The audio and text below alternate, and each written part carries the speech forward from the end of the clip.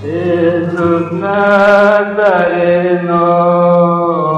dueño de las almas, atiende piadoso a un alma perdida.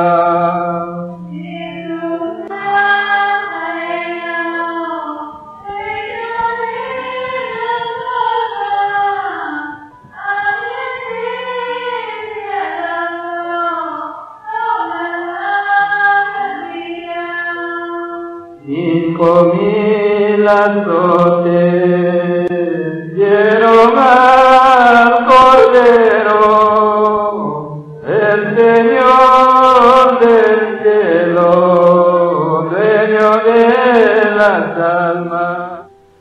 La religiosidad aquí en Huaraz ha sido siempre en torno a la Santa Cruz y también a las imágenes.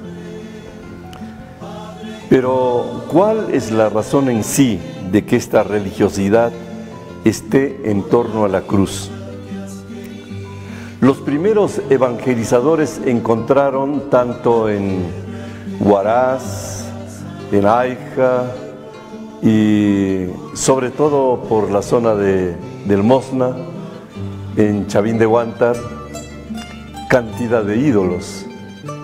Estos ídolos estaban en torno a las huacas, a las huancas y también a los monolitos. Si nosotros podemos ver que de que, de que Huaraz ha, sido, ha tenido una riqueza tan grande en todo lo que es monolitos, en todo lo que es huancas en sí y también las famosas huacas. Y he estado reflexionando de que cuando llegaron los españoles encontraron Pumacayán.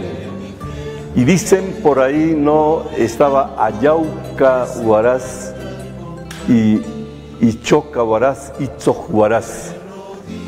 Huaraz en la parte derecha y en la parte izquierda. Pero estratégicamente se pusieron al lado de Pumacayán. Y es por eso de que el templo del Señor de la Soledad está al frente de estos vestigios arqueológicos de Pumacayán. La mentalidad de los primeros eh, evangelizadores o sacerdotes desde Toribio de Mogrovejo fue precisamente la extirpación de todos estos ídolos. Y entonces empezaron a trabajar fuertemente. Empezaron con la extirpación de los ídolos y en reemplazo pusieron las famosas cruces. Cuando uno va, por ejemplo, por Wilcabaín, uno va a encontrar algunos vestigios todavía. Por ejemplo, vamos a encontrar ahí en la colina de Runtupampa una de las cruces más bellas. Y si es que uno sube hacia Ahuac, va a encontrar también una cruz muy hermosa y grande que va a bajar durante la fiesta de los carnavales. En torno a todas estas comunidades siempre estuvieron las cruces, en los caminos, en las colinas y sobre todo donde estuvieron las famosas huacas y también las huancas. Las huancas. Eso sería un poco la mentalidad como para poder hablar que antes del terremoto hubo una mentalidad, al menos que se fundamenta en la historia de la religiosidad popular. Pero una vez que ya se afianzan los, los, famosos, los famosos españoles, los evangelizadores, empiezan a venir imágenes hermosas. Y es así que una de las cruces más hermosas y grandes con una imagen fue la, es la imagen del Señor de la Soledad. Y en torno al Señor de la Soledad trabajaron en los alrededores de la ciudad de Huaraz en todas las comunidades campesinas. Yo recuerdo todavía de que antes del terremoto, la fiesta de las cruces o la fiesta también del Señor de la Soledad era una fiesta más solemne que ahora, era modesta, era una fiesta modesta, pero los campesinos bajaban. Y había una práctica de rezos no solo en castellano, sino en quechua.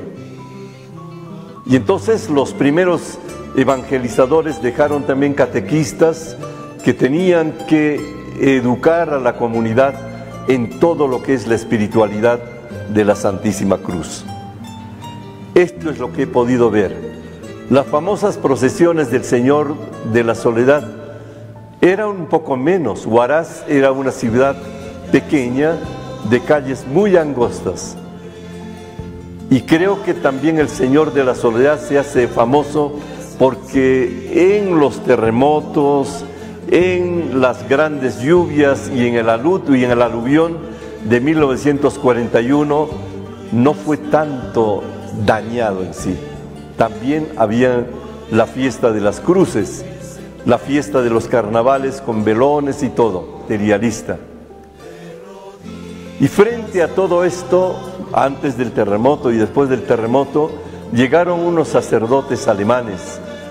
Yo he conocido todavía al padre Ripkens, después al padre Meyer, al padre Bude, a sacerdotes que también hicieron también un trabajo en quechua y evangelizaron y quisieron llevar la gran fiesta del Señor de Mayo, del 3 de mayo, a la fiesta de la Santísima Cruz, que es el 14 de septiembre. No se pudo, se fue luchando, vinieron los obispos, vinieron los sacerdotes, pero creo que en esto tenemos que tener la mentalidad un poco de que hay que seguir trabajando como hasta ahora está haciendo el señor obispo. Bien, después del terremoto, bueno, los danzantes de antes del terremoto eran bastante sencillos modestos por supuesto, pero también una profunda fe.